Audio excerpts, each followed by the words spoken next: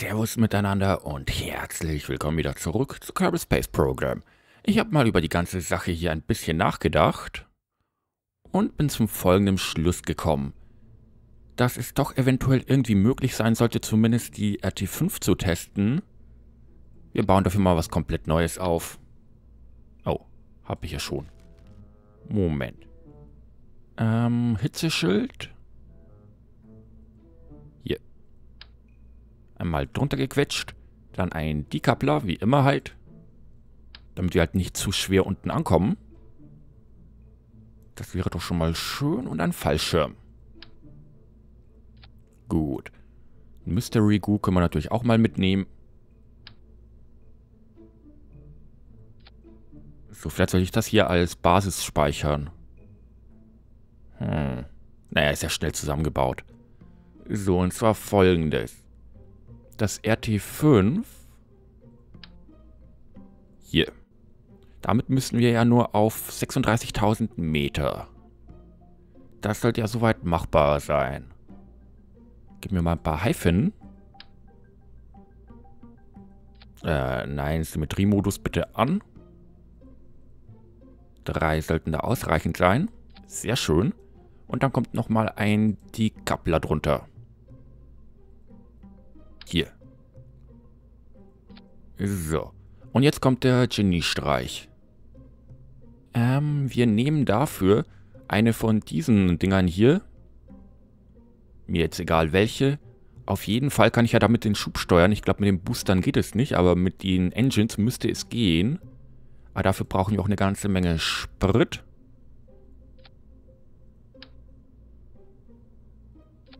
So, wunderbar. Wie gesagt, damit kann ich halt den Schub steuern. Das Ganze schon mal ein bisschen leichter macht. Ah, hier kann ich hoch und runter scrollen, das ist doch schön. Und dann brauchen wir nochmal hier einen Decoupler. Mhm, wunderbar. So, nochmal ein paar Hyphen für alle Fälle.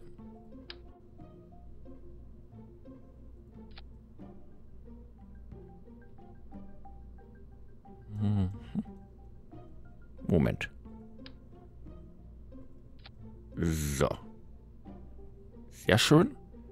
Und dann müssen wir natürlich noch auf die Höhe kommen. Also das hier ist wirklich nur dafür, damit wir da hin manövrieren können. Damit wir den Speed ein bisschen anpassen. Diese großen Booster haben sich ja schon mal sehr gut bewährt.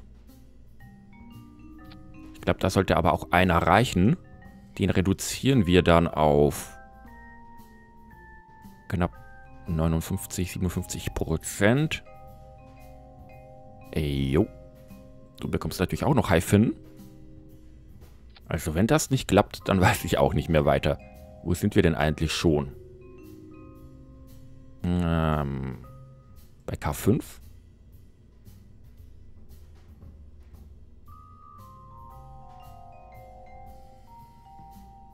Ja, das ist dann die K5. Gut. So, jetzt müssen wir natürlich auch noch die Stufen einstellen. Also zündet, dekoppelt. Zündet, dekoppelt. Zündet, dekoppelt. Moment, ich muss noch den Fallschirm irgendwo anders einsetzen.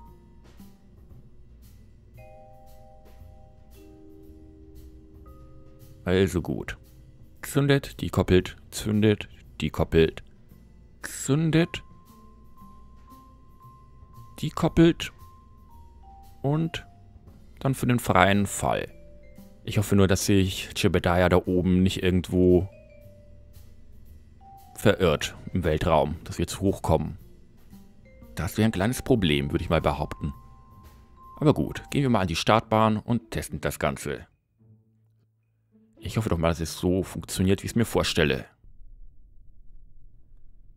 So, Jebediah ist da. SAS aktiviert. Also der Plan ist halt wirklich, dass uns dieser Thruster so auf ca. 10.000, 15.000 Meter hochbringt. Thruster, sag ich ich meine der Dings da, der Booster. Naja, probieren wir es einfach mal aus. Fehlt da Schub? Ich vielleicht noch ein bisschen mehr Schub dazu geben? Oh, guck mal, hier kann ich den Schub ja auch steuern. Nun gut, dann gehen wir hier mal auf volle Kanne erstmal. Bis wir ungefähr bei der Hälfte vom Sprit sind. Wir nehmen Fahrt auf. Oh, das geht ja sehr gemächlich. Und dann reduzieren wir das Ganze mal. Wobei, hier kann ich den Schub ja wirklich nicht steuern. Der fliegt halt durchmäßig durch. Hm, vielleicht haben wir ein bisschen zu viel Gewicht. Vielleicht soll ich da noch ein paar zusätzliche Booster dran packen.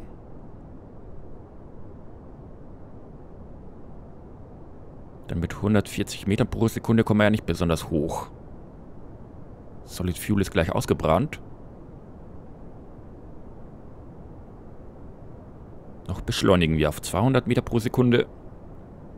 Wir geraten hier langsam ein bisschen in Neigung, aber der Horizont sagt da nichts. Hm. So, wir werden jetzt ein bisschen schwerer. Weißt du was, mit Minimalschub. Nee, nur damit wir halt nicht langsamer werden. Weil die Geschwindigkeit haben wir ja. Ich hoffe mal, wir haben genug Sprit dabei. Also reduzieren nochmal. Vielleicht kommen wir hier so mit ein bisschen Glück nach oben.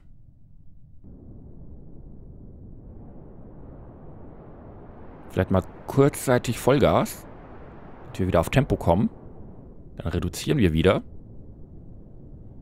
Ja, es könnte klappen. Vielleicht brauchen wir bei der ersten Stufe einen zusätzlichen Booster. Dann könnte es vielleicht klappen. Ich habe wirklich ein sehr gutes Gefühl, dass wir damit auf dem richtigen Weg sind. Mhm.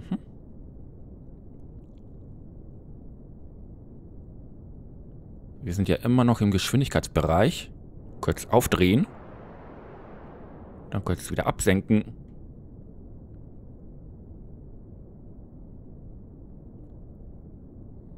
So.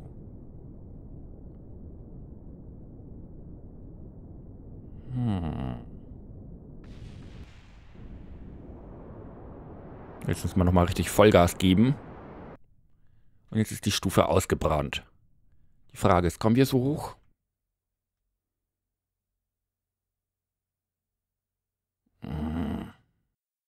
Komm, zeig mal her. Wie hoch kommen wir denn? 25.000 Meter. Nee, wir brauchen noch einen zusätzlichen, äh, ja, einen zusätzlichen Schub in der ersten Stufe. Also bringt es natürlich nichts, weil jetzt haben wir auch nicht mal mehr das Gesamttempo. Ja, da bringt es eigentlich gar nichts zu zünden. Schauen wir mal, ob wir hier Punkte reinbekommen. Mm -mm. Nein. Kommen wir durch dich Punkte. Ich glaube, in der Höhe waren wir schon oft genug.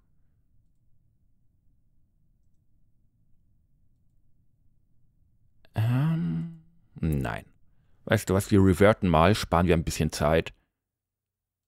Können wir ja machen. Zu Vehicle Assembly.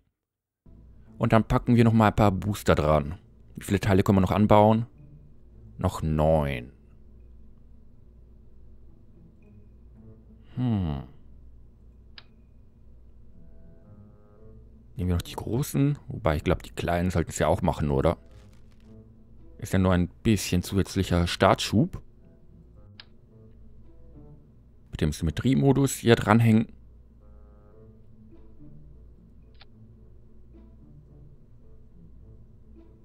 Genau. Die Kappen habe ich noch nicht erforscht, oder? Die aerodynamischen Kappen. Können wir mal schnell mal gucken. Wahrscheinlich übersehe ich das gleich. Nö, aber ich habe das Gefühl, wir sind jetzt endlich mal auf dem richtigen Weg. Den Schub können wir hier auch mal ein bisschen reduzieren, damit die halt nicht so schnell leer brennen. Genau. K5B. Speichern und auf zur Startrampe.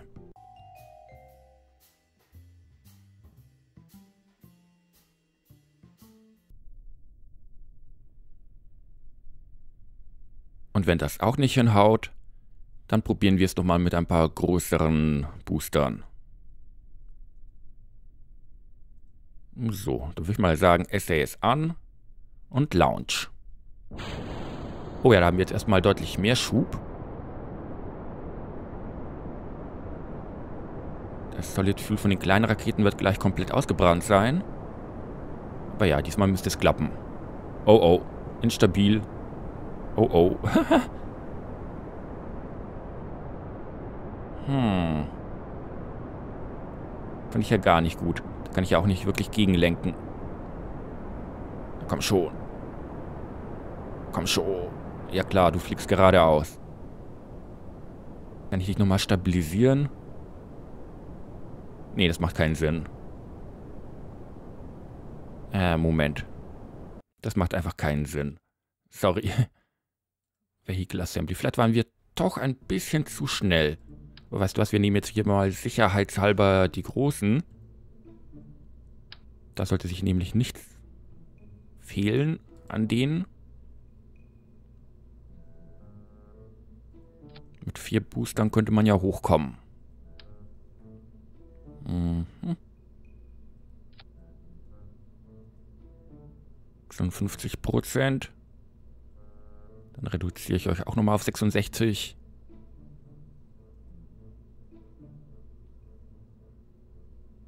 Nun gut. Also Schub haben wir mehr als genug. Vielleicht haben wir noch ein paar zusätzliche Haifinnen gefehlt. Das wahrscheinlich sagt ihr mir dann gleich mal, dass wir keine Teile mehr verbauen können. Äh, drei Teile dürfte ich noch verbauen. Nun gut. K5C. Und starten, würde ich mal behaupten.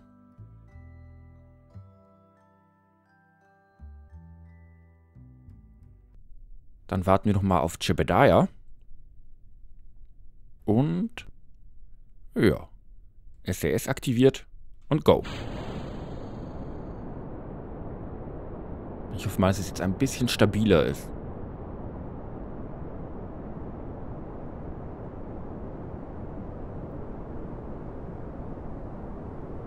Ja, wieder leichte Schräglage. Oder zumindest bilde ich es mir ein. Höchstwahrscheinlich ist es absolut gerade.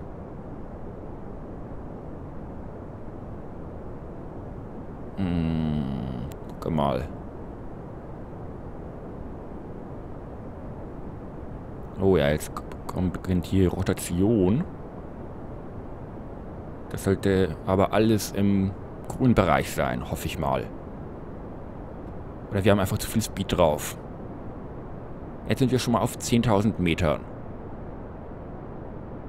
Könnte klappen. Notfalls können wir mit diesem Triebwerk ja ein bisschen abbremsen. Solid Fuel ist gleich ausgebrannt.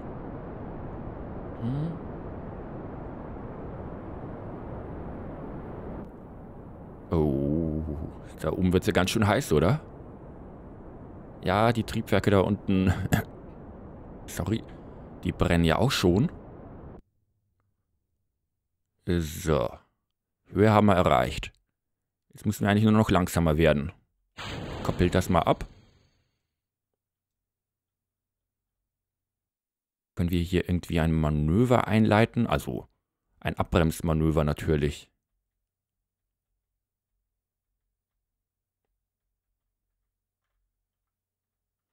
Moment. Erstmal den Schub so weit reduzieren, wie es geht.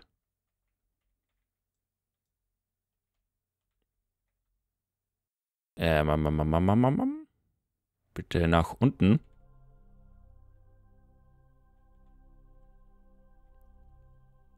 So, in welche Richtung geht es eigentlich nach unten?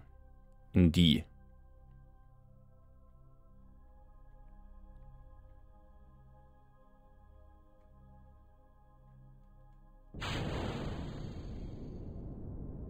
Genau, flieg mal bitte aber nicht zu steil runter. Du steigst ja immer noch.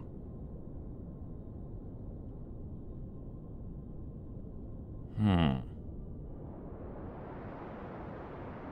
Dann kommen mal ein paar Sekunden Vollgas. Wieso steigen wir denn noch? So, jetzt fallen wir. Moment. Jetzt habe ich meinen gesamten Sprit verbraucht. Das ist ja auch nicht so toll. Verdammt, kommen wir hier wieder runter? Ja, doch. Gut. Ähm, ja, dann könnte man mal einen Jebediah fragen. Wenn mein Crewbericht anfertigt. Nö, der hat nichts Neues zu melden. Das Mystery Goo eventuell.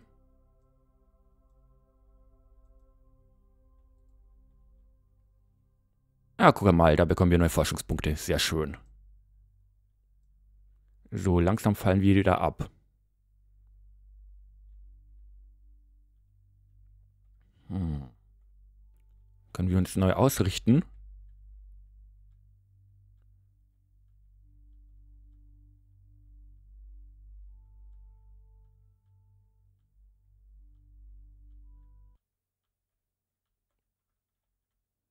So, damit müssten wir wieder Richtung Orbit ausgerichtet sein und wir fallen weiter. Verdammt sind wir schnell. Hm, ich habe zu viel Sprit verbraucht. Also waren vielleicht die Tamper doch ein bisschen zu stark.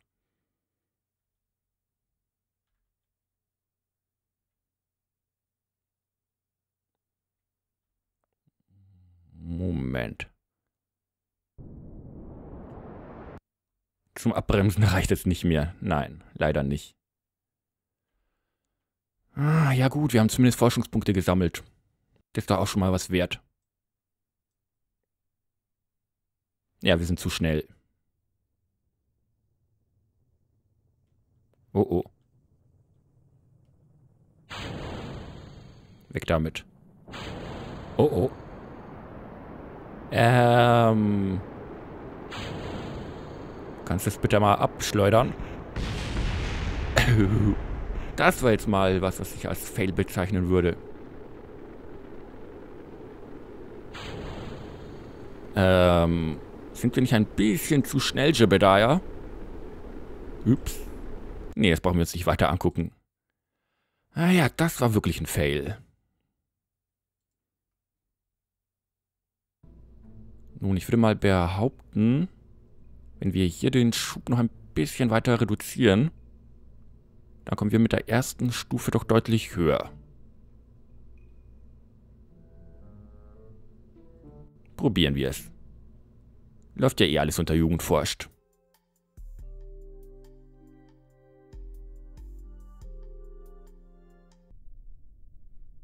Na dann, Essay ist an. Jebediah ist bereit. Jetzt müssten wir mit dieser Stufe eigentlich deutlich höher kommen ohne deutlich schneller zu werden. Da wir den Schub ja reduziert haben. Im Zweifelsfall müssen wir halt früher vom Gas runtergehen. Also früher abkoppeln. Und hoffen, dass uns die Booster nicht wegschießen. Jo, Solid Fuel wird verbraucht. Electrical Charge geht auch runter. Das brauchen wir fürs SAS, wenn mich nicht alles täuscht. So, Speed haben wir richtig. Nur halt nicht die Höhe. Äh, wo neigst du dich jetzt schon wieder hin?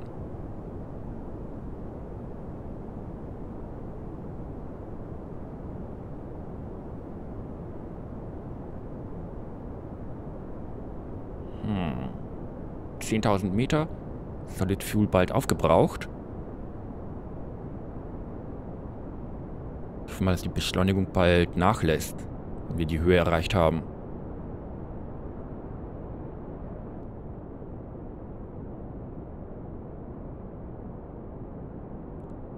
Diesmal habe ich ein richtig gutes Gefühl bei der Sache. Oh, wir werden ein bisschen heiß.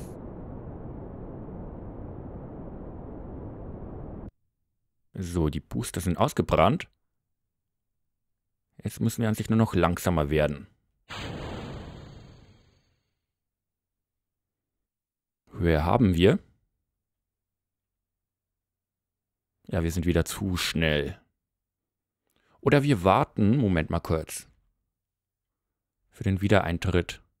Oh, das habe ich auch gerade erst versucht. Wie hoch kommen wir? 95.000 Meter. Da hätten wir doch die RT-10s mitnehmen können. Äh.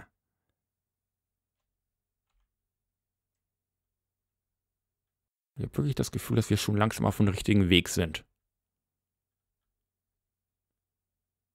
Ich einfach irgendwie mal abbremsen oder sowas. Jo, jetzt sind wir wieder im Orbit draußen. Bekommen wir vielleicht nochmal die Forschungspunkte zurück. Jo, die behalten wir. Crewbericht. Bekommen wir keinen.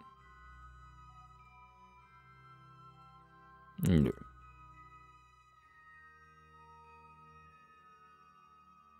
Das Problem ist, bis wir wieder auf den 36.000 Metern drunten sind, werden wir so schnell werden.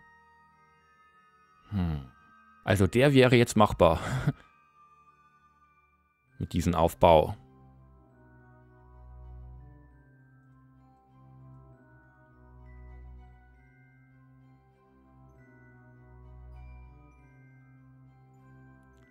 Und gleich segeln wir mit voller Lichtgeschwindigkeit wieder gegen den Boden. Können wir hier oben SAS ausmachen? Ja, dann sparen wir ein bisschen Energie.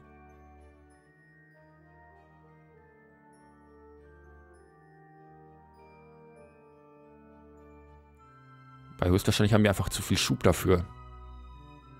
Schub noch weiter reduzieren oder doch den Tamper ein weniger, zwei weniger. Ja, haben wir es da bald oben? Klar, wir könnten mit dieser Ding sogar einen Standardorbit einfliegen und geosynchron werden, aber... Moment, lass mal die Ausrichtung so, wie sie sein sollte. Genau, weil somit sind wir direkt vom Planeten weggerichtet. So, und wir fallen wieder.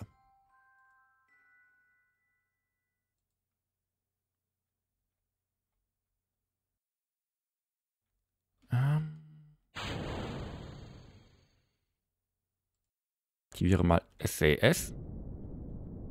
Vielleicht können wir ja ein bisschen abbremsen.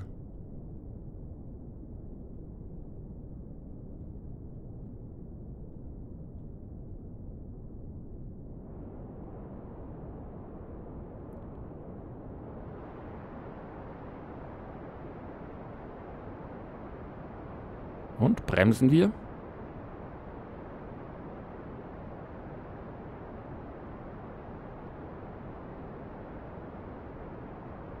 Höhe haben wir. Wir sind immer noch zu schnell. Nee. Wieder komplett verfehlt. Ja, also die Geschwindigkeit ist das Problem, aber das könnten wir jetzt auf jeden Fall schaffen. Dann werden wir nochmal hier die RT10 hinbauen und dann machen wir das hier im nächsten Part. Ersetzen wir einfach mal die RT5 Jo. Bringt eigentlich gar nichts, die jetzt noch zu zünden. Ich möchte einfach nur noch landen. Wobei, sind wir nicht zu schwer? Oh, oh. Moment. Moment. Hab ich keine Energie mehr? Strom haben wir ja noch. Oh, oh. Du lässt dich nicht ausrichten. Ja, klar. Moment. Nee, nee, nee, nee, nee. Also ich habe ungefähr eine Ahnung, wie wir zumindest die RT10 schaffen. Wie gesagt, das gehen wir dann im nächsten Part an. Ich bedanke mich bei euch fürs Zugucken, wünsche noch einen schönen Tag und bis zum nächsten Mal. Tschüss.